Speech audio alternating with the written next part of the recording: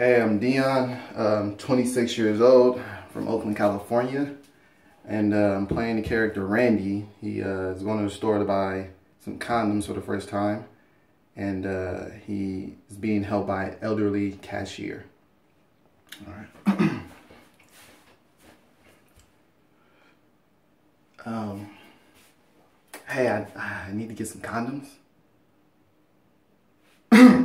I said, uh, I need to get some condoms.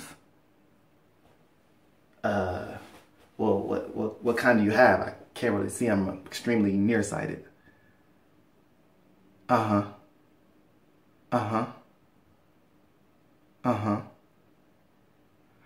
But glow in the dark? This isn't Halloween. I'm not trying to scare the girl, for God's sake. Uh, you know what? I, I think I'll just take the Trojans.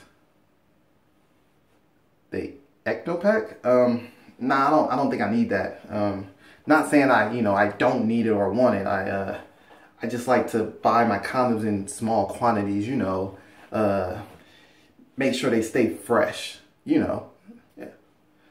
Uh, what size? Um, I think I'm gonna need an extra large, you know.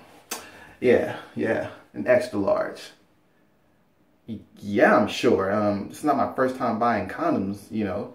Uh, you know, I, I buy condoms all the time, you know, constantly, sometimes twice a day, you know.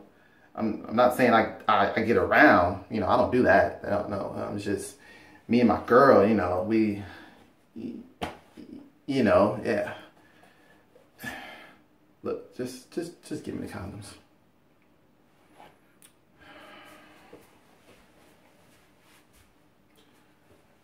Um, just one more question. Uh, does this one come with any instructions?